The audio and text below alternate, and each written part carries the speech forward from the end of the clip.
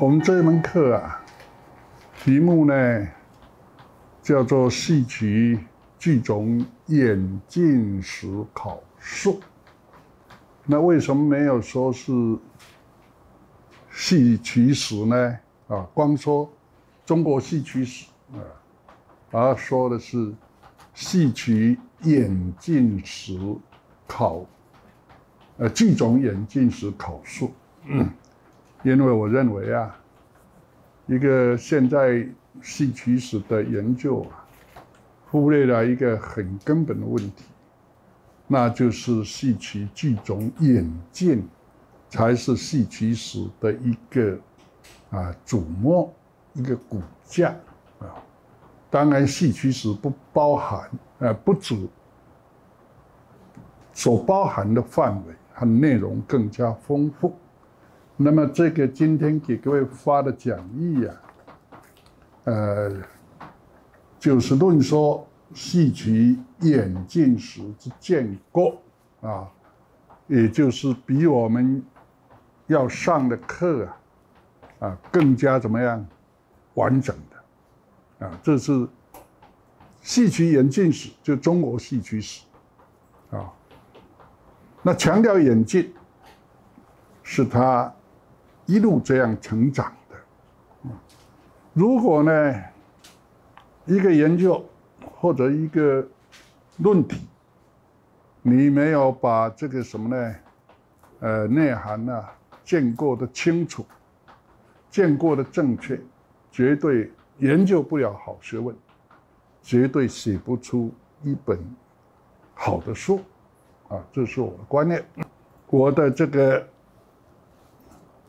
学术的基础啊，可以说是建立在中国文学系里边的各种修为。我们中当年的中国文学系，它是 拿整个汉学的研究来看待的，不像现在呢，分门别类太多了。有些大学里边文字。没有了，经学没有了，啊，有些甚至于什么呢？文学里边又分出台湾文学，啊，北京大学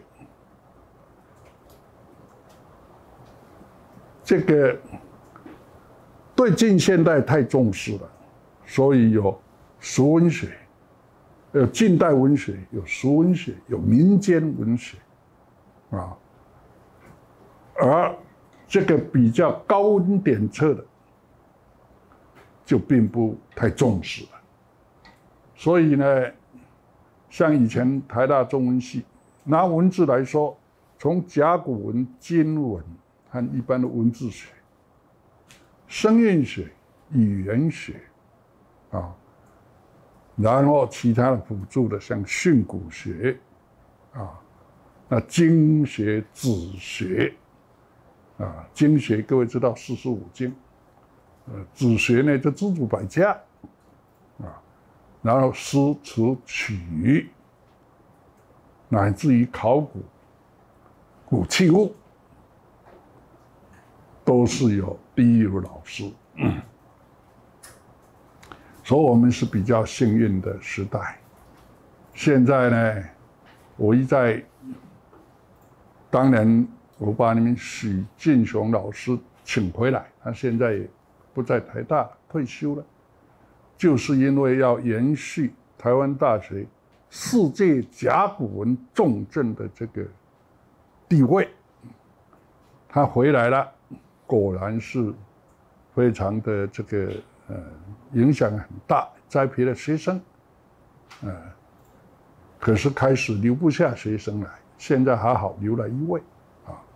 还可以继续。一个完整的大学，真正成为汉学中心的，他一定各门学科都有第一流的教授。啊，这个我一向很重视，可是我现在还没有影响力了啊，还没有影响力。所以在当年呢，我比别人呢有这个好处啊。当时受教老师相当的多，所以我后来虽然研究戏曲，可是如果我没有文字学的基础，我就考察不出生旦净末丑是怎么来的。那完全是一种文字学，这个还有这个民间这个俗文学结合起来的一种现象，啊。如果呢，我没有这个经学考证的这个底子，我也没有办法利用古文献来研究最古老的戏曲的现象。如果我没有声韵学、语言学的这个基础，我也写不出戏曲歌乐间的关系啊，等等，就可见了一个基础学问的这个重要。那我慢慢的呢，就以戏曲学为主轴，和戏曲学关系最密切的，莫过于韵文学。你戏曲如果不懂诗词曲这三个在它之前发达的文学的话，你就无法研究戏曲。所以韵文学啊。我也常开韵文学的课，是这个缘故。那么戏曲根源是从什么地方来的啊？从民间来的。所以俗文学的研究，我还整理过中央研究院所藏的俗文学资料，一万多种。都经过我的手中做分类编目，我也写了一本六十几万字的《俗文学概论》，这个书两岸很重视，所以俗文学的研究呢是第一个语义，而民间是一切艺术文学的一个什么样，一个肥沃的土壤。也是一个原生地，所以我对于民间的表演艺术也非常的重视。我参加了中华民俗艺术基金会，我的一个老朋友，我很尊敬的，到十二岁，当年他就台湾最著名的音乐家，叫许长惠，我和他一起呢。这个他创办中华民俗艺术基金会，我参与接替他，我会接替他作为执行长、董事长，啊，结合台湾一二十位教授做台湾地区整个表演艺术和手工艺术的调查，啊，然后把它推动到。这个我们社会里边大型的活动办了四次，直到我到德国去教书才停下来。大到什么程度呢？演出的人两千多个人，啊，演出的剧种和手工艺术一百零九种，光学校来的。各级学校就七百三十五个人，啊，那一种盛大的样子，是从我之后到现在没有过的。那为什么做这些呢？因为这才深入与民间接触。你对于这个什么呢？你的研究就有一种根，有一个实质的这关照和历练，所以。民间表演艺术、民俗技艺，也成为我这个什么呢？作为戏曲研究的语义。但是前面我说过，中文系的学问是我的基础，这提供各位参考啊。那么在这样之下，你研究一门学问最重要的。当然就是要懂得运用什么样的资料啦，资料呢，一般呢，都会拘泥于什么呢？拘泥于文献资料，图书馆里边的。你研究先秦的哲学，大概躲在图书馆，图书馆还可以，对不对啊？你如果研究这个这个这个历史的话，你不去做田野考古，你对古史的研究，你就会差一分。我们戏曲呢，其实所需要的资料啊的那个多样性是在文科里边，在文科里边，人文社会里边。恐怕是最多，呃，多元性的。当然，它还是文献资料为主体，因为文献是一种记载。可是呢，当我考察到唐宋间的戏剧的时候，那么你如果能够把大陆在田野考古发现的古文物，拿来这个对应，你会发现许多的这个什么呢？确凿的证据和古今呢合拍的照应。所以，唐代的餐巾戏，宋代的杂剧，从那些画像砖、画像石。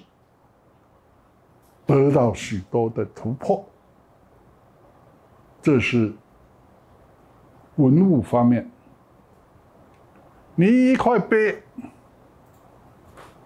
就可以证明乾隆年间昆曲已经传到台湾了。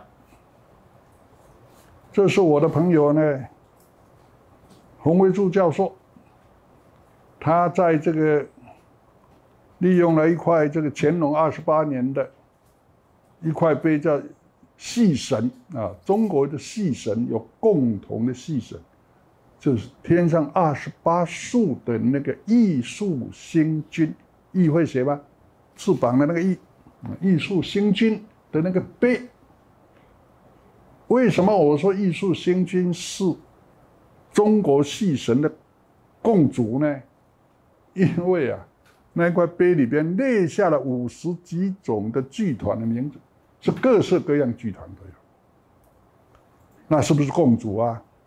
啊，而我们台湾有一个昆剧团，就在里边，他们的捐款写在里边，那就可以证明昆曲、昆剧在乾隆二十八年。台湾就有了，这是历史文献找不到的，可是这是铁的证据呀。你看我我说，我们中国戏曲啊，戏剧的观念，如果戏剧的观念是演故事这样的观念，那么毫无问题，我们中国的戏剧。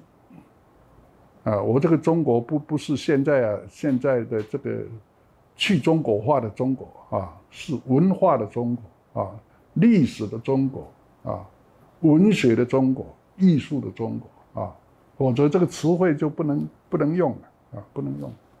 那么像这个呢，在桌礼里边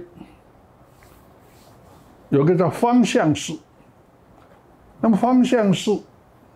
它就是古代的一个大鬼，专门这个来驱魔的，魔就邪神。我们说妖魔鬼怪，驱逐妖魔鬼怪的大使叫方相使。方，四方八面，相，就是照相的相。这个方向是在周礼里边，毫无问题是有。可是周礼是什么时候的呢？周礼是战国年间成立的儒家。对于中央政府的组织架构的一个书，这个书在以前未必实行，但儒家希望有这样的政治制度，而后来影响很大，影响中国的官制很大。那你说方向是？如果拿文献来说，是方向是只是在战国年间呢？可是呢，我们呐，在民国二十几年呢，发现了殷墟大墓。殷墟大墓现在还存在故宫博物院，模型都还有。里边就发现了方向式的面具，铜面具。这个铜面具的的这个形状记载完全。和周礼的记载一模一样，叫黄金饰木，就用黄铜做的面具，有四个眼睛。那殷墟大墓的方向是面就一样。可是殷墟大墓是什么时代的啊？商代的。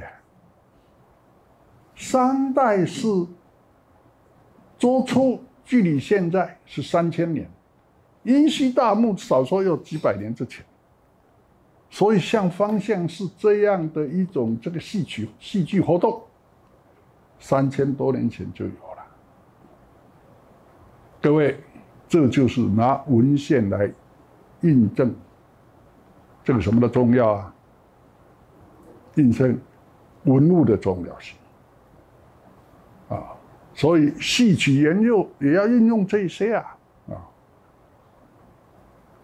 那么文献的解读尤其重要。你对文献解读不精确，对于文献的引用不得其法，你常常得到的结论就会差别。同样一段文字，我引用出来，我分析出来，我可以得得到许多不同层次的这个意涵在里边。可是，一一般文学是，你这么抄，我也这么抄，连原文都不找来看看，那这里边的疏漏和这个什么呢？呃，就很大啊。所以，同样一段资料，仔细的去研读，你所看到的内涵，常可以言人所不能言。所以，文献是重要在解读运用。这是第二，第三呢？早年呢，我比较飞扬跋扈、比较身体好一点的时候啊，我常率领我的学生做田野调查。不要说我们台湾整个啊，到大陆、福建。还有广西、云南、贵州、四川、湖南、江西、陕西、山西、安徽，这个江苏、浙江、山东，都有过我的足迹。所以有的学者啊，他认为我是台湾人。他说：“曾教授呢，嗯，比较啊先天不足的，就是他拘束于台湾。对，我说你看我的书太少了，读我的文章也没几篇，才敢这么说哈。其实我所知道的这个什么剧种 超过他太多了啊，因为我是实际。你看那几省啊，你看我戏。”各类型的我戏，各剧种，所以我才敢写出这个七八十万字的地方戏曲概论呐。那地方戏曲概论，你不跑一跑大陆怎么行呢？啊，所以这个田野调查，戏曲呢，田野调查，你是要看现在这个剧种。它的生态怎么样？它目前的现状怎么样？调查里边还要访问啊，调查你要懂得如何调查，访问也要懂得如何访问。如果调查不得其法，你去了是常常呢，呃，没什么收获。我的方法，因为我从你们曾老师从三十五岁啊，就当九党党魁啊。那两岸都统一了，所以呢，各地这一方面的朋友多。我一向是要到哪一个地方，一定找当地的教授、党员、地头省，请他安排，啊，然后我的队伍去了，他作评，还要联络官府党员，这官府党员。因为我们去啊，文化局的、文化厅的，呃，都会接待，呃，那大家能喝几杯酒啊？我册封任命他们一些官职呢，很快就成了热热络起来。所以去了，像有一次这个这个呃，到福建那个厅长啊，他是很很熟。他就下了一个令，说曾某某带他团队到我们来做这个戏曲的田野调查，凡所经历之县市文化者，皆要这个给予接待以方便，将成果汇报本厅。你看，所以每一次去，哎，都有一个副局长陪着。啊那么有这一些学者、局长带着你去访查剧种，因为他们是当地人，对不对啊？哪一个剧团好，哪一些好，你都清楚。对方也看中你，人还没到，欢迎曾某某什么来，都都都都都推出来了啊。那他们请我吃饭，我照例是有来有往的啊，交朋友啊这样。然后我都事先说，把你们剧团的相关的这个相关的资料，希望我们都要一份啊。如果必须要我们来购买，我们都很乐意。那绝大部分都送你的啊，所以去了。我的学生都零零了，然后呢，我一定找学生录音的录音，录影的录影，啊，我访问就记录，这样一种团队合作，效果就非常的大。而你，我一再要强调，你要调查，你目的在什么？如何调查？你访问，访问的对象。不是胡来一气，随便抓一个人问的。他所说的话，啊，他的可信度，啊，他的一一说啊，这个是你的传说，啊，打个比说，为什么叫车骨戏？为什么叫车骨？啊啊，车骨叫什么什么？大家都有一个说法啊，掐扁了啊，所以车就是翻来覆覆去的，啊，那个那个各种说说法都有。不如我到什么样，在福建，呃，漳州看到漳州大车鼓，一看，他的这个什么呢？打击乐器，因为这是民间艺术，鼓最重要。打击乐器是用车子在推的，所以车鼓车鼓就这样子。哎，到台湾以后，形势变了。啊，一糊涂了，那么胡说八道就出来了，啊，常常这样。你像这个什么呢？我们这个九甲戏，台湾有一种叫九甲戏。那为什么叫九甲戏呢？哦，九甲就是九角啊，九个人演啊，然后又又又这个什么呢？交加啊，是南北管交加啊，那最后呢，民间的这个艺人还说国谣，高嘎高嘎国谣啊，各种写法都有。其实它怎么变的啊？你把它说起就知道。文字学这时候就要用了，歌甲干戈的戈，啊，甲乙的甲，因为高甲系是南管呐，南管系的武系，加入武系的南管系就在叫这是，呃，这个呃戈甲系，因为它直戈披甲的意思，因为南管系是我们南系的传统，是文系，只有文系。所以特别强调它是歌甲干戈，啊，直戈披甲演出的戏。可是民间语言，干戈的戈，和我们闽南话高地的高是不是戈啊？同样戈啊。那高地的高低又可以读什么啊高啊？那交通的交是不是高啊？七八九的九又高啊，高高这。语音呢，一一这个叫做什么呢？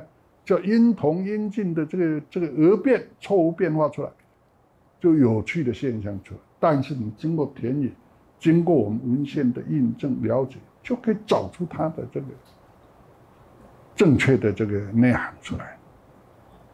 说田野啊，调查访问啊，常常有的学者问到一个民间艺人，他说的话就是变经典了。啊，然后说他的才对，其他人说的不对，因为他只听到这个人说。像这些啊，哎，都常有。还有啊，你研究戏曲，如果不上剧场，不了解这个戏曲的这个生真正的现代的现象、生态的话，你最多只是纸上谈兵的传统戏曲或者戏曲的这种。啊，另外一种学术，呃呃，把它当做钱家之水来研究。我的老师王国伟就是这样的人物啊。我老师不看戏啊，但他因此他只能研究在宋元以前的戏曲啊，是这个缘故。所以戏曲的这个研究的这个资料就要包括这么多。那么我研究的这个方法呢，第一讲究文献资料的解读啊，文献资料解读今天呢不能举例和各位说，啊，刚才已经也说过了，你解读错误，全盘皆输，就着火就入魔。啊，所以资料的解读，一个标点符号都不能错，啊，标点符号错，语义就不清，啊，这种现象很多。我写过一篇文章，就纠正了同样一段资料的运用，把当今学者的这个各种解读，说明他们为什么错的缘故，啊，为什么错的，然后我们是如何解决它。啊，为什么我们有把握，我们的才正确？这个就是靠解读，啊，这个是最基础的功夫。这种基础的功夫不能一蹴而就，要随着你的学养、你的努力而与时俱进的，啊。但是它是一个最根本，说我排第一。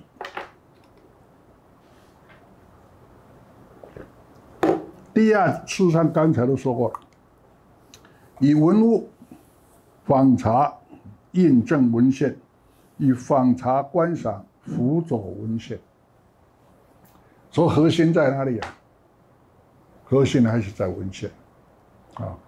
你要批评一个现在演出的剧的戏曲，你还是要看它的文本为基础啊！啊，你这个文本是这样，如果。没有一个好的文本，你再好也舞台本也不会好到哪里去。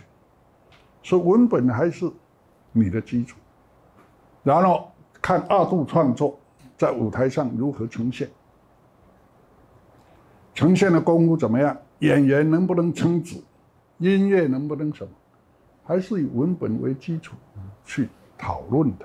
啊，所以才说以文物访查印证文献，以访查观赏这个辅佐文献，一个印证一个辅佐，还是文献为主要啊。嗯，然后呢，先破解关键性、依然性之问题。你研究一个东西，其中很关键、关键性的，如果你不把它弄清楚的话，那么你所做的可能许多白费功夫，而不知而自己不知道。拿戏剧和戏曲。什么叫戏剧？什么叫戏曲？戏曲这两个字是起码宋元的时候就绝对有。有哪些文献？胡济先生啊发现永嘉戏曲啊，戏曲原来是宋元戏文戏文的别称，重文本称文。重音乐称曲，啊，我说这个另外元代又有这个陆轨部，又有这个什么呢？青罗子啊，有错公路，通通出现戏曲。那像张庚，张英是大陆一个极前辈的，他不懂，他就把戏曲解释成宋杂剧。对不对啊？就因为他就不认为诸此类。我说“戏剧”这两个字呢，是唐代诗里边也有，辩文里边也有，佛经里边也有。那时候的戏剧和我们现在戏剧观念是不一样。一个名词有它的根源，名词会怎么样？会与时俱进的。它的含义内涵是会变化的，啊，他那时候的戏剧，戏剧这两个字就是什么呢？戏汉剧叫互文，各位知道什么互文吗？就联合式的合义副词，联合式就是两个词两个字的分量是相对等的。叫做联合式，比如说美丽，美就是丽，丽就是美，啊，这种情况，缓慢、快速，对不对啊？都一样，伟大、细微，都是同一个意义的。那么因为戏呢，我们说戏动，闽南话现在都还有啊，戏浪，对不对啊？戏动就表示鼓机诙谐的动作，叫做戏。剧呢，我们说剧谈天下事，说笑话，说是言语的鼓机诙谐。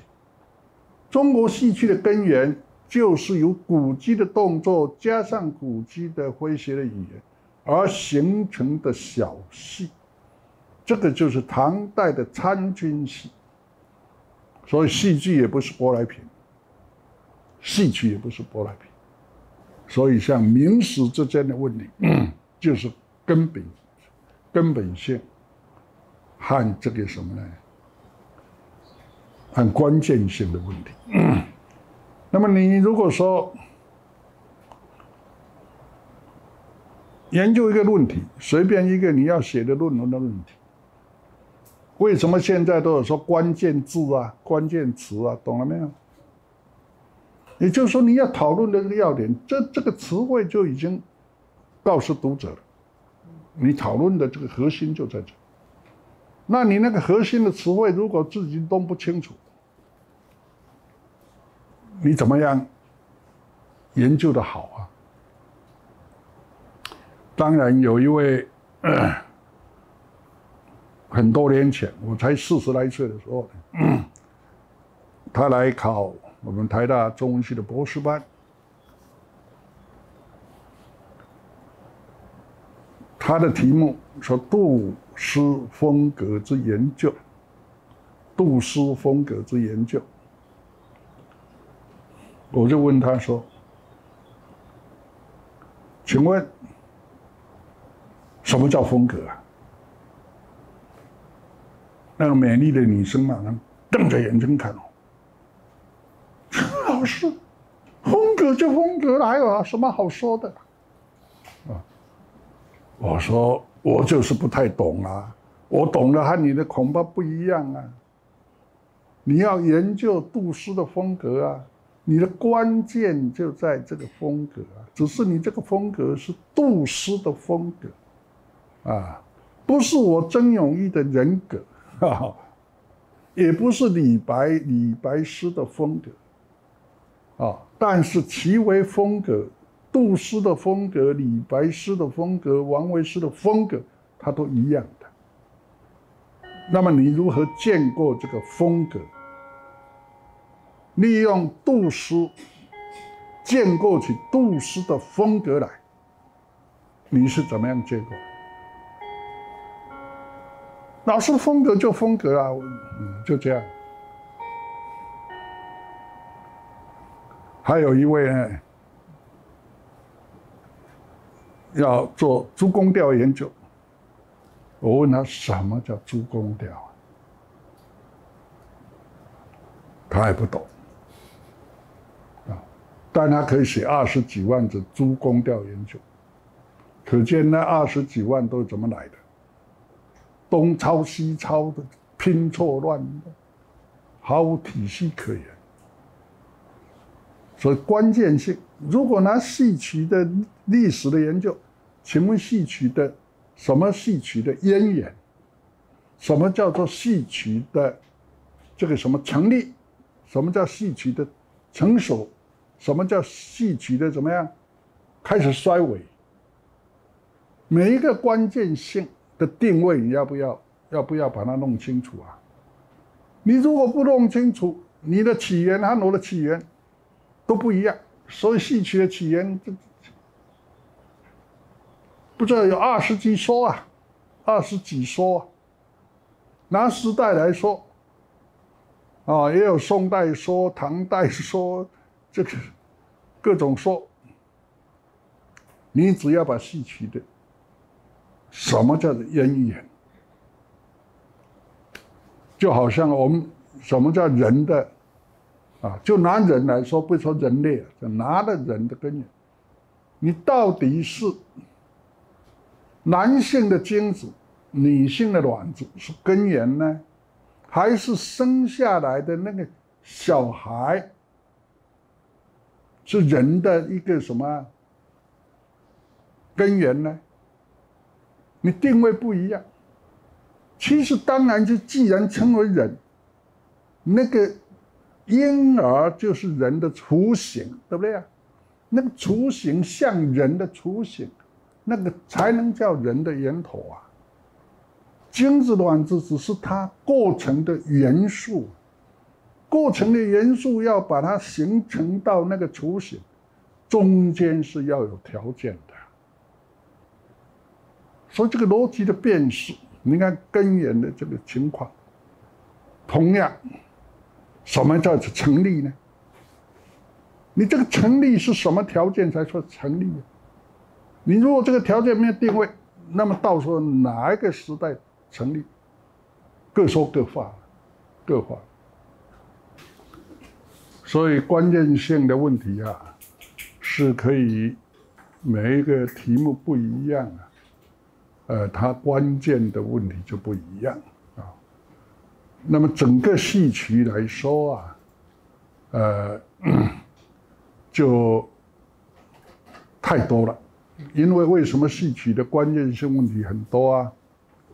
因为戏曲研究啊，到现在不过是怎么样百年而已。啊，百年来，他的资料在以前呢，也不太被重视。啊，你明清的史志呢，根本不把它当做个东西，所以散佚的很多。啊，散佚一多，许多啊就难以布局。有时候发现一个新资料和原来的这个大家所认定的又差别很大啊，那么光这个新资料又很难以来证据你新的论说，这些都有啊，都有。所以疑难的问题，呃，是要注意，但并不容易。我们读书啊，各位一步一步来。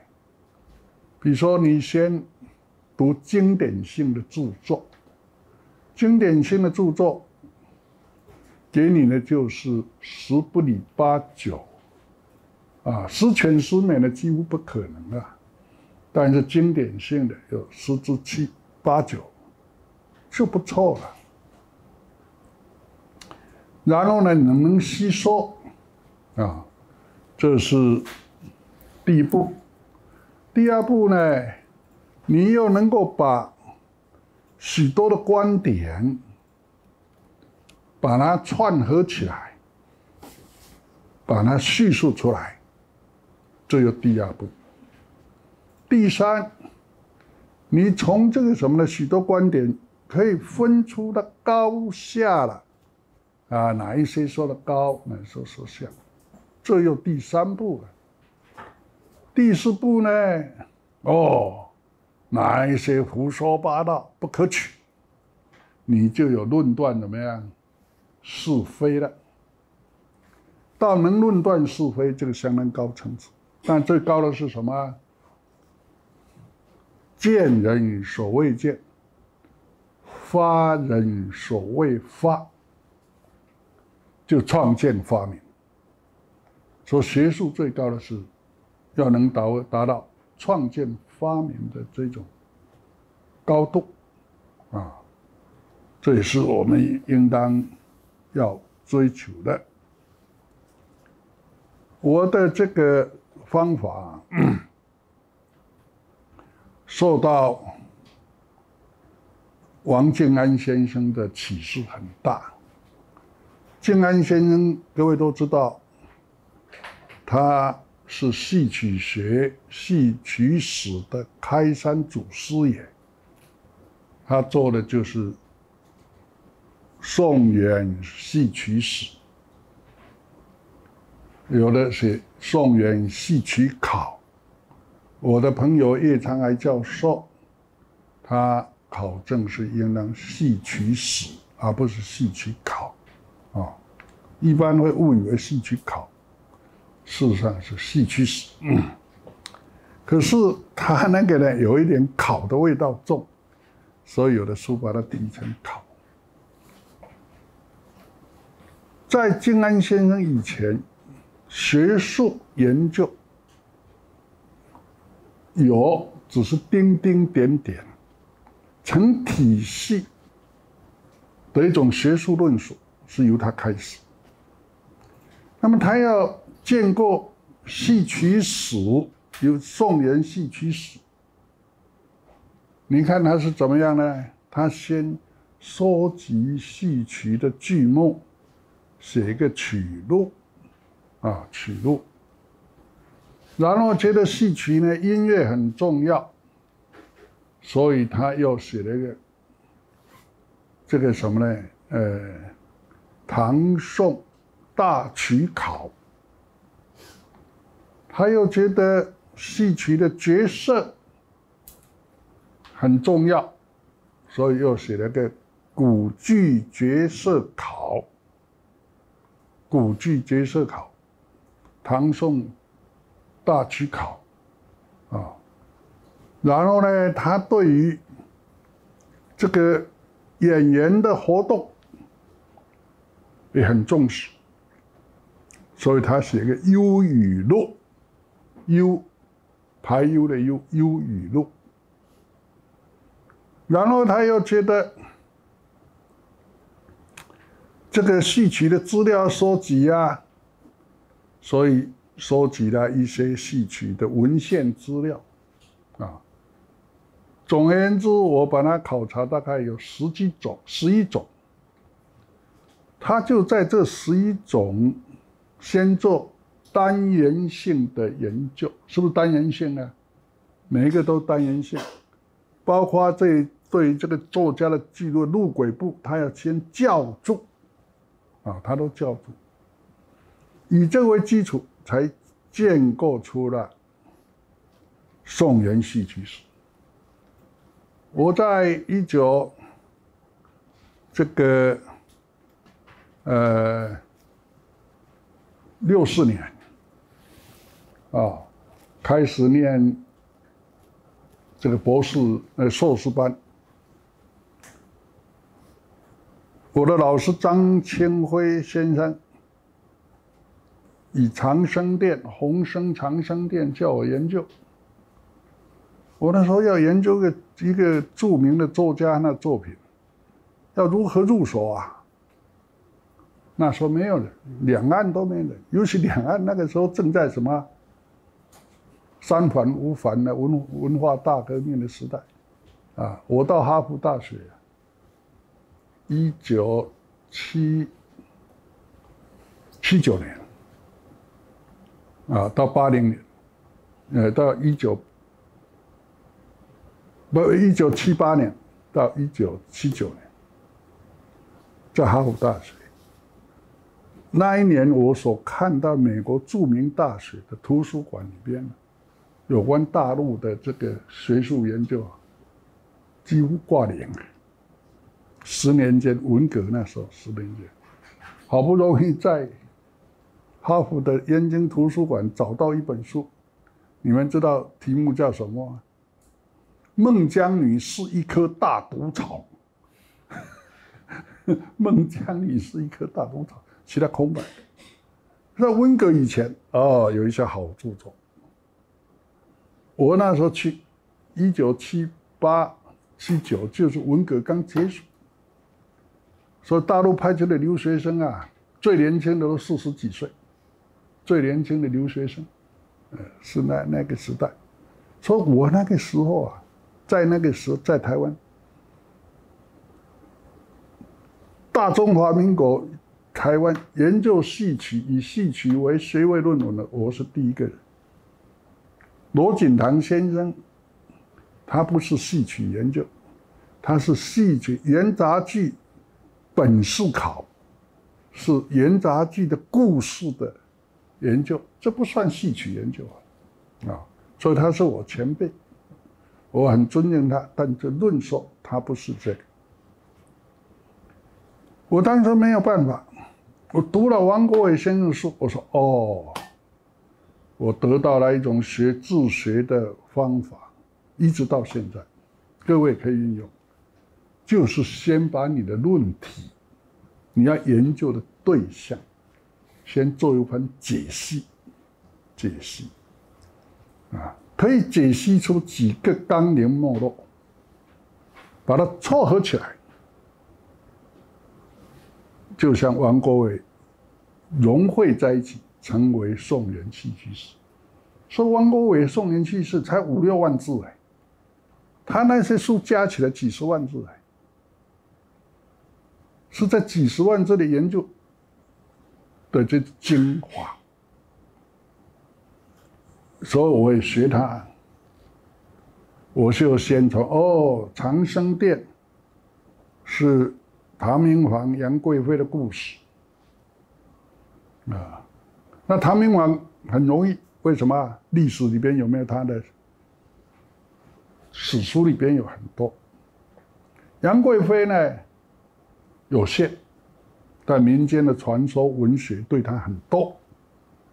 所以我就先写了一篇了，后来变成一个典范之作，叫主题学研究的典范之作，就杨妃故事及其相关之文学，就杨贵妃为核心，历史的杨贵妃，民间俗文学传说的杨贵妃，诗文里边的杨贵妃，把它贯穿起来，啊。那么，红生长生殿的这个故事情节会不会脱离我这个东西呀？就脱离不了。那作家我就先研究他的脸谱，就写了红生脸谱，因为他的号，他的别这个字叫仿诗，所以我就写红仿诗脸谱，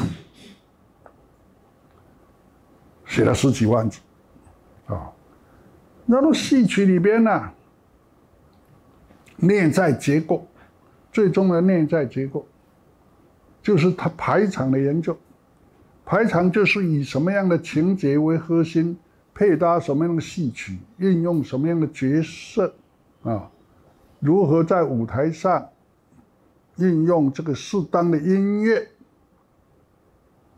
做表，呈现出来的一种整体的现象气氛，这叫排场。说排场是戏曲内在结构的实体。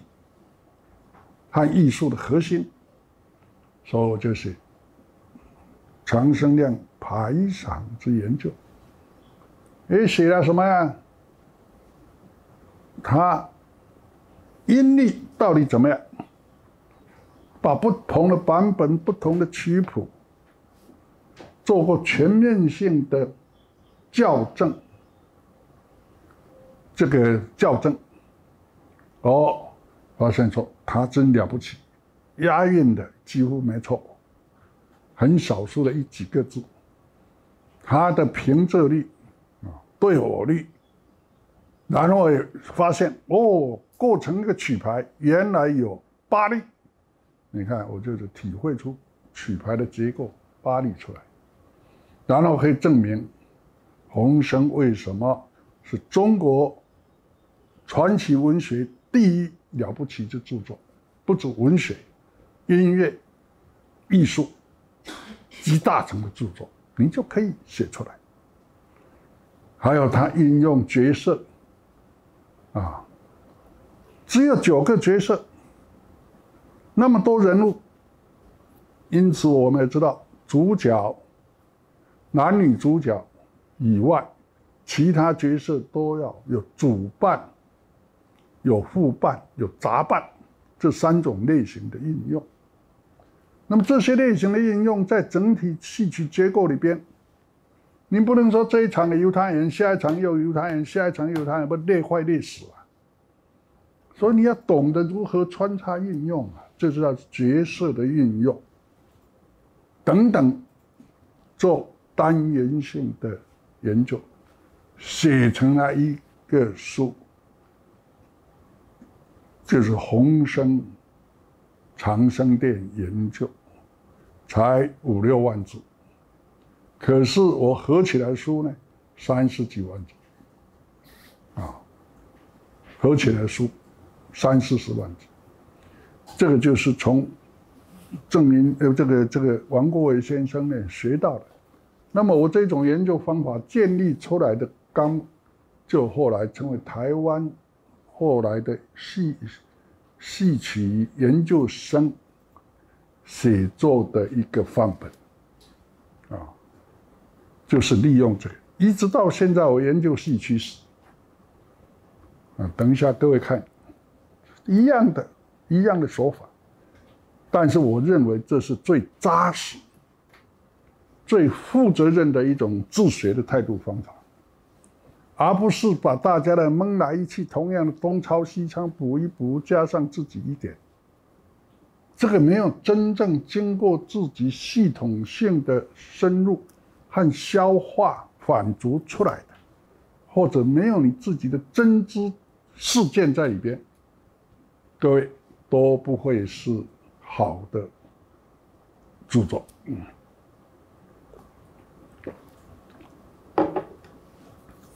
啊，所以我说见过系统性的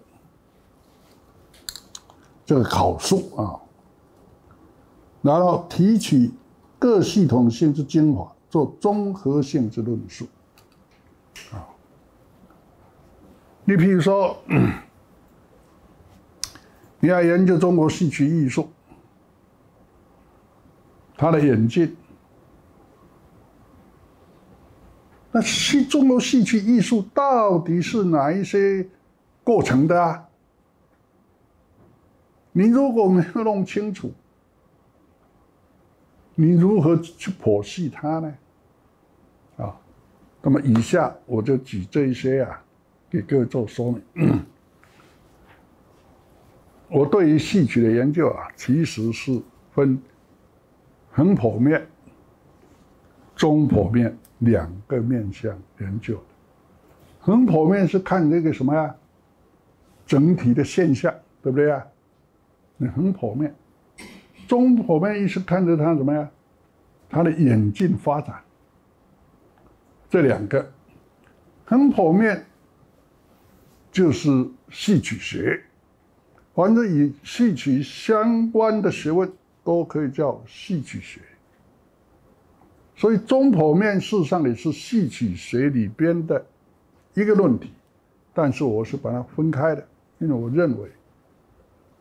中横两剖面的研究方法是不一样的，要呈现的不一样，所以我把它分作两方面。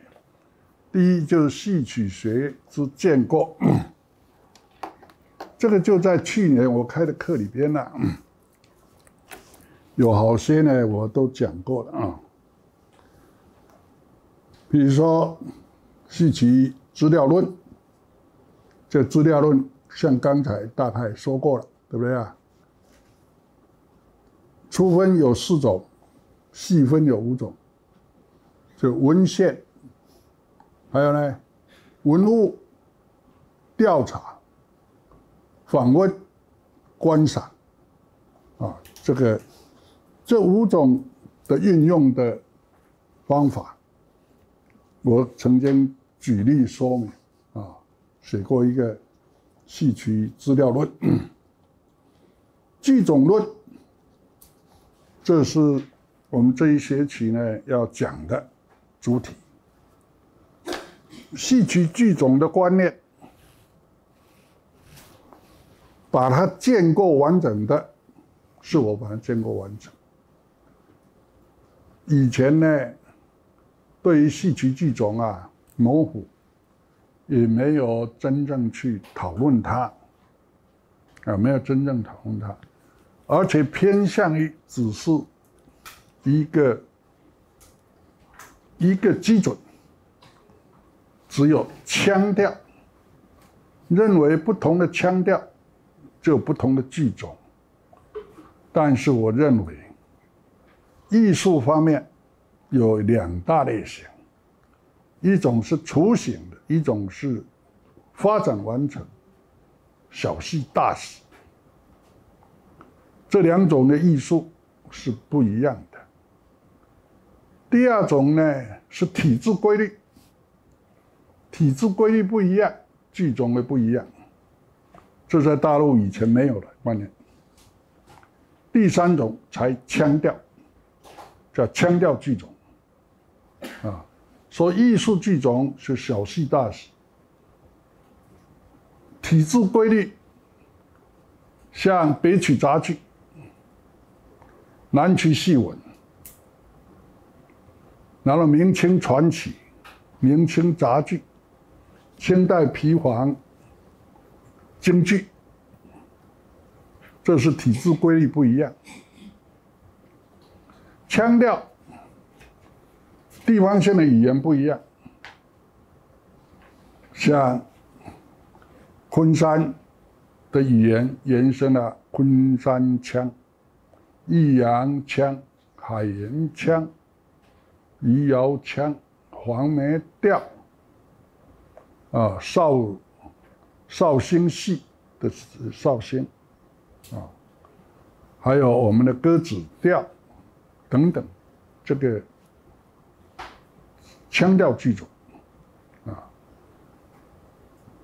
它是这对于这个，嗯，那么腔调剧种在这三个基础之下延伸很多，啊，它可以说呢，就是讨论中国戏曲史啊的一个骨架，剧种的演进就是戏曲史演进的骨架，啊，那剧场论。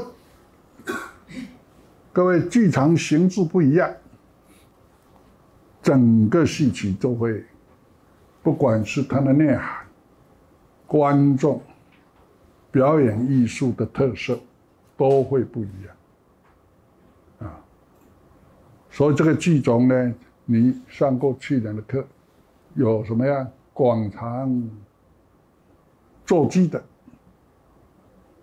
有高台别歌的。有奇书宴享的，奇书就铺上毯子的；也有歌兰献艺的，有宫廷献贺的，不出这五大类型。你从这五大类型去探讨，剧场的影响力都出来了。戏曲的题材、思想、那故事类型。以及它的艺术特色，都跟这个有密切关系。题材观目论，题材就是你戏曲的故事凭借的材料，是历史的呢，传说的呢？啊，或者杜撰的呢，等等这些啊，就是你题材，啊，或者是唐人传奇来的呢，或者宋人这个话本来的呢，啊，或者神话来的呢，这是题材。那么题材里边，就棺木，棺木就重要情节。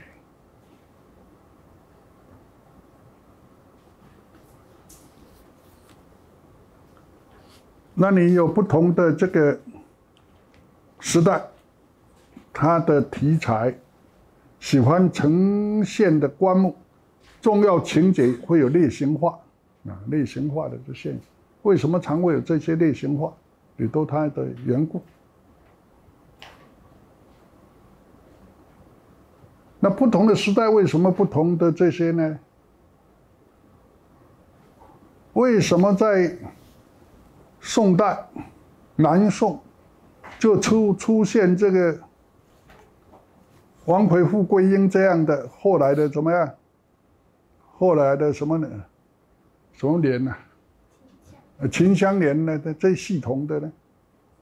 那和他时代背景一样。为什么元杂剧里边有那么多的公案剧啊？那么多水壶戏呀？有那么多的歌子妓女剧呀？这也是他的这个时代不一样的背景。为什么明代有那么多文人愤懑、愤懑不堪的呢？对这个义愤填膺的呢？发牢骚的呢？因为明代的科举影响很大，所以这个题材观目论，这个是整个很普遍的一种现象。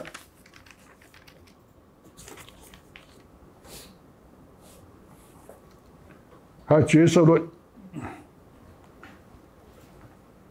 角色论就是我刚才所说的一个关键性研究啊，这个比较疑难性研究的一种，因为生旦净末丑这五个字啊，要把它解释清楚，自古以来啊，当然我自己说的啦，别人也不一定同意啊。只有我在四十几年前写那篇文章啊，是最可靠的。为什么我这么说呢？你们慢慢上我课都会知道，我很有信心啊。我也不谦卑，但是别人的长处、别人的创建，我一丁一点不内取啊。这是做一个学者很基本的修为。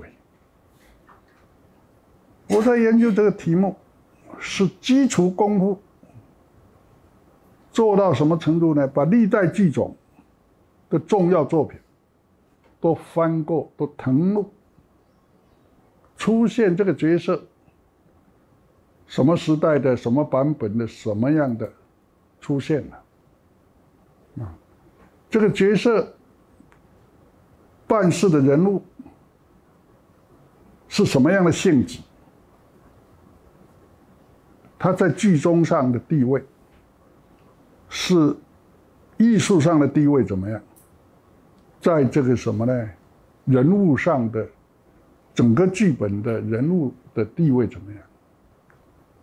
这样一个一个把它建构起来。然后再经过分析，还有这些生旦净末丑有关角色的历史文献的记载，古人怎么样给他解说，今人怎么样胡说八道，哎，也都要荟萃起来。你要说人家胡说八道，要不要批评他为什么胡说八道的缘故啊？也要啊，否则他是有他的想法啊，所以花了相当的这个基础。你们慢慢的会发现一个现象：资料和资料摆在一起，有时候他们会碰撞，会自己说话，自己谈话。哎，你看，它就含藏在里边。有时候呢，你从哦，许文长说了这句话，给你的触发，给你还是点亮了什么东西，你由它引申出来，发挥下来，替他找证据。就证实了，啊，所以我写过一篇四五万字的戏曲角色概论，啊，这个戏曲角色论呢也是很重要的，还有结构论，结构论呢，关涉到我对于自学的一个根本的态度方法。我认为啊，学术或者各方面都有共性，会不会有特性啊？有特性。你比如说文学，或者把它缩小范围，戏剧的研究，中西戏剧的研究，同样是戏剧，会不会有戏剧的共性啊？会不会有啊？会有，所以有些理论，我们可不可以借重啊？就可以借重，因为它是可以有这共性可以运用。可是西方的戏剧和中国的戏曲，在体制隔离、在这个语言运用、在艺术的呈现，差别大不大？差别很大。你如果都拿西方的来要来套我们中国的，会不会牛头不对马嘴啊？会不会你自己像一头牛被人家那用那个什么把你牵着鼻子走啊？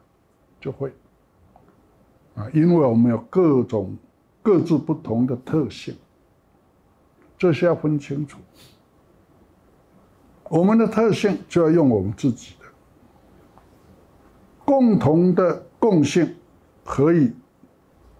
可以就适度的观察，适度的观察，因为一个理论的建构是基本从这个文学生发出来的，而不是人家在他那个文学的直线里边研究出来的一个理论，你要来套在我们的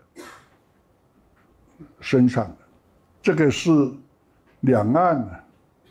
近代的这个学术研究一个很大的危机，啊，信心不足，就要弄一些洋人的，啊，你才觉得你博通中西，其实是错误的。这个在二零一四年呢，我去年上课也说到这个事，你还记得吧？如果你那一堂课来听的话。我在香港中文大学有一个国际戏剧学术研讨会，我做专题讲演，我就提出了所谓的戏曲结构啊，论说戏曲结构啊，题目是论说戏曲结构。我说中国的戏曲结构和西方的是不一样的。戏曲和小说是不同的文体，所以也不能拿小说的结构来套戏曲的结构。这逻辑有没有问题啊？当然没有问题。啊，我说我们的结构的观念，这两个字结构的观念，啊，从开始用这两个字是什么意思？那么在戏曲里边，它又是个什么意思？古人对结构观念只达到什么样的程度，而就没有全部观览，所以我们现在把它建构完成。啊，所以拿古人的这个结构的观念来看，和小说结构就没多大差别。嗯，可现在的结构观念。就不一样。现代结构的观念，我还是从我们的戏曲的本身出发的，本身出发的。它有外在结构，有内在结构。元杂剧一本四者，对不对啊？一人独唱，是不是元杂剧？只要做元杂剧，是不是都要这样子啊？这次元杂剧已经定型的。体制规律的外在结构，就好像这一栋这个什么大楼，它已经告诉你，一平多一一一个空间就有多多少平，多少长多少宽，啊，有几根柱子，这些都已经把你建构好，所以不能变的。这是外在结构，可是戏曲有内内在结构啊，那就是艺术。如何建构这个戏曲艺术的内涵，呈现给观众？这是剧作家为主体，演员为呈现的载体，那就是排场结构啊。所以我说，如果拿西方的，拿古人的，就会。有什么问题？好，第二天最后一场叫做座谈会，八个比较有学术学术比较著名的学者，两岸、美国、日本、韩国，还有法国学者都有，就谈的是什么呢？文学理论。应当怎么运用？中西文学理论应当怎么运用？啊，一个一个发言，大体上说来都赞成，两者都可以利用，没有说要效法西方的啊，这个为数很少，我几乎没有，我没听过啊，都觉得可以用，这都是对的。可是轮到这个法国的学者叫安比诺，我记人的名字啊，常常是记不住的。不过安比诺我都不会忘记啊，因为他说到我的心坎里。她是个女生，那个说的中国话比我还标准，说我听得清清楚楚。他如果用英文，我大概就完蛋了啊，大概也听不到多少。他呢？说了，他说：“你们现在你要么知道美国的一些文学理论啊，戏剧理论呢，都来根源于什么呢？根源于我们法国哲学家的哲学思想啊。我们对于这个法国的哲学家的哲学思想，我们法国人都已经抓不住，都看不太懂了。”又被美国人把它翻译过去，又做融入文学理论，那又又又又又又又差了。然后呢，哎，你们中国人又把它翻到中文来，啊，又差了。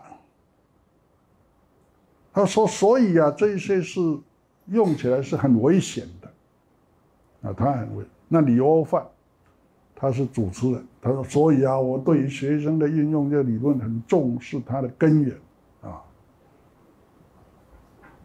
那么有人问他说：“这种呢，好用西方理论来套中国学问的，两岸哪一边呢最厉害？你们猜说哪一边厉害啊？”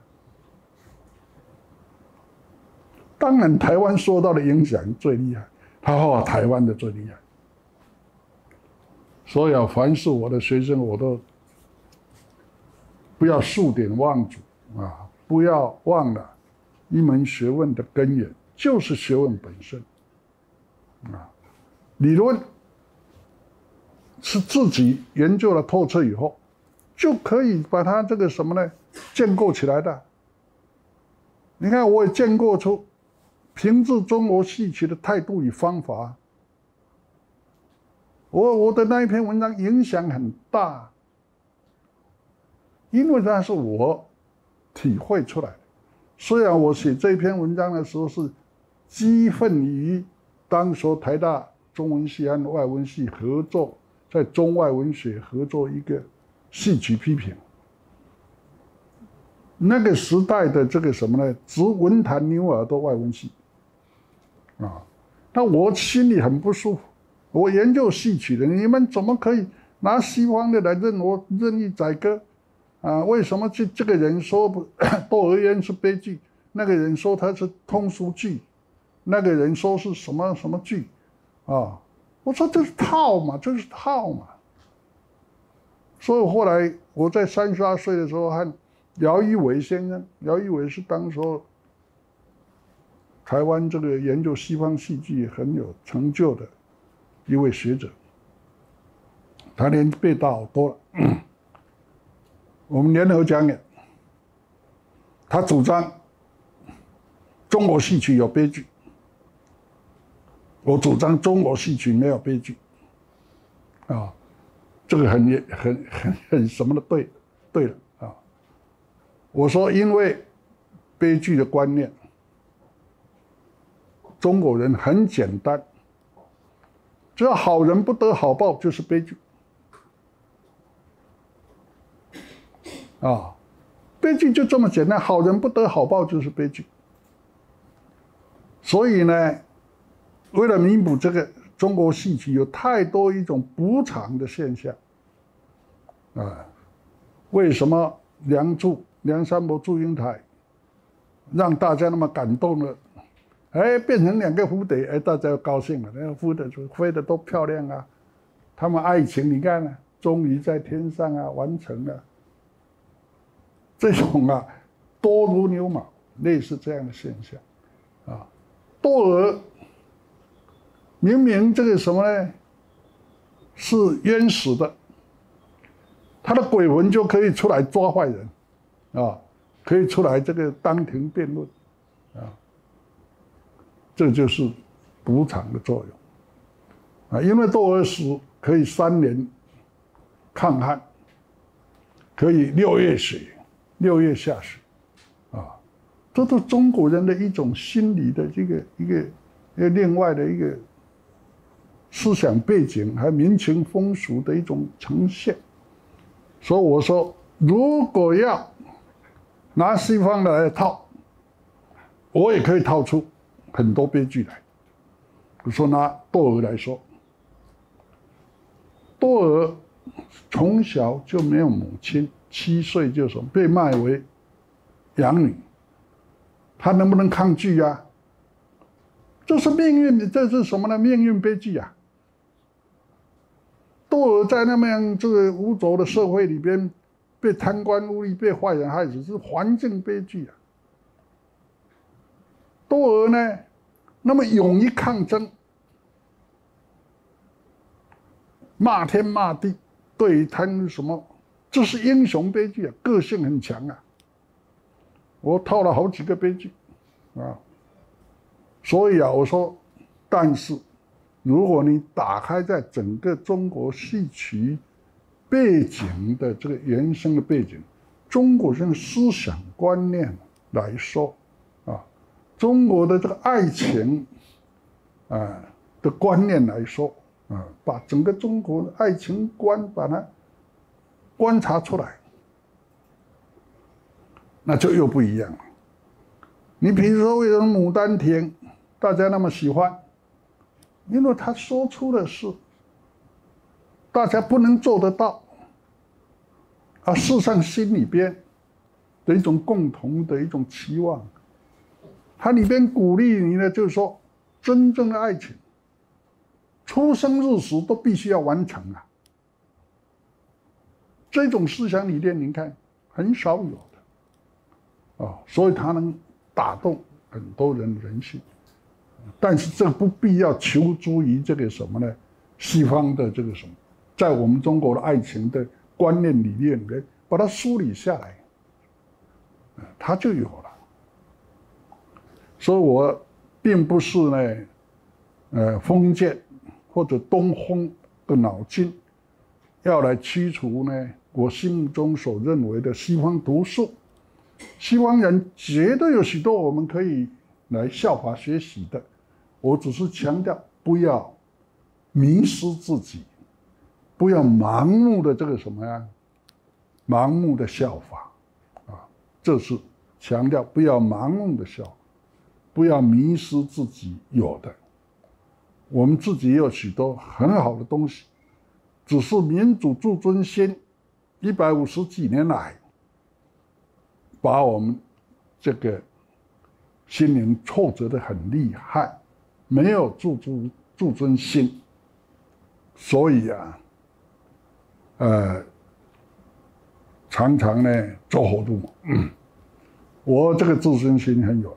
所以我不管当年在哈佛大学、斯坦福大学、密歇根大学，我都是教他们洋学生来学我的。说我的英文一直没有进步，是因为没有机会和他们说英文。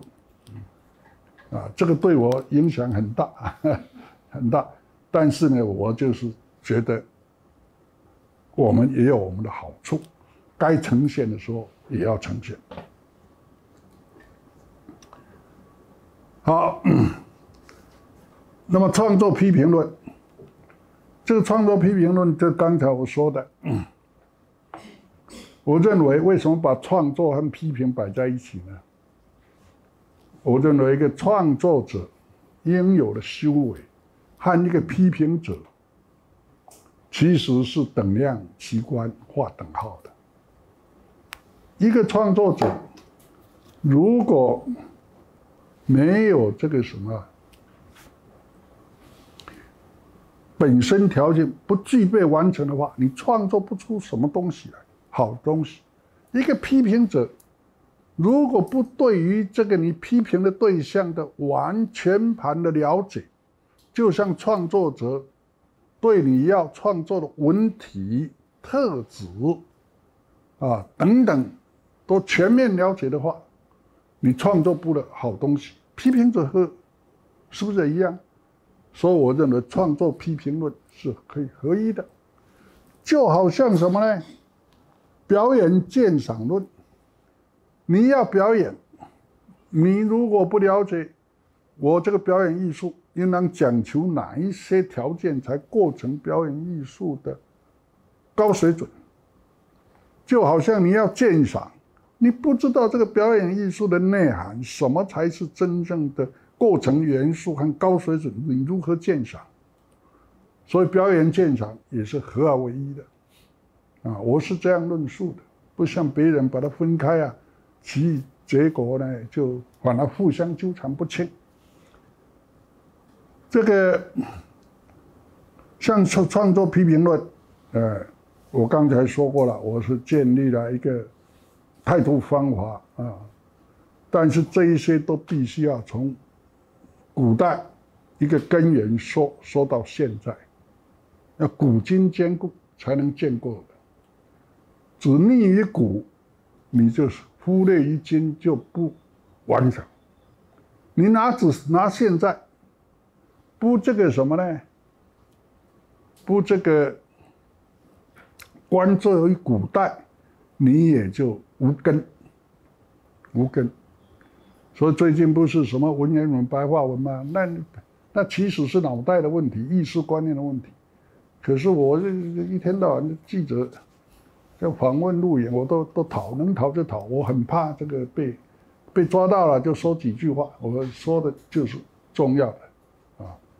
你文言白话有什么好争的呢？两者都是重要的表达工具啊。你白话文。如果把这个什么文言文有过的这个这个文学底蕴抽离出来，那你胡适之先生，你不是叫他胡说八道？你到哪里去的先生？是不是？世之不是往哪里去吗？胡适之啊，你往哪里去的先生？我这个当然是随便说一下，有时候一句很简单的话。就可以代表非常丰富的内容，应用到白话文里边，不是也是很好的语言吗？还有白话文不是就是不是日常生活的语言呢？它已经也是成为文学的语言。嗯，这个是没什么好争的啦。